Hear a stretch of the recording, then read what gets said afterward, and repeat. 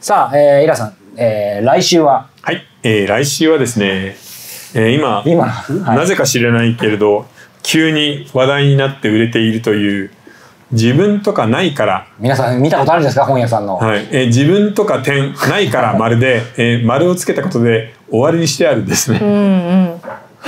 えこれは本当に意味わかんないんだけど、うん、あのー文章だってことなのかな？みんなさ何気なく見てるけど、なんで正体には丸がないの？えなんか、タイトルだから、タイトルだそう。タイトルである場合は丸がないの。うん、それなのにタイトルに丸をつけてるってことは何か文章にしたいっていう何かがあったんだろうね。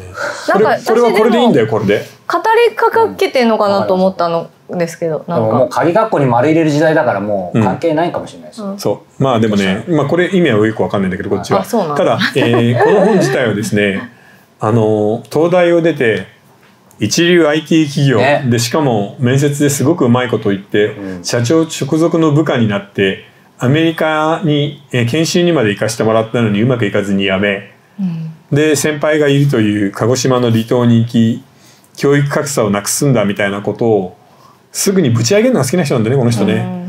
でやってでも散々やったんだけど失敗してダメ。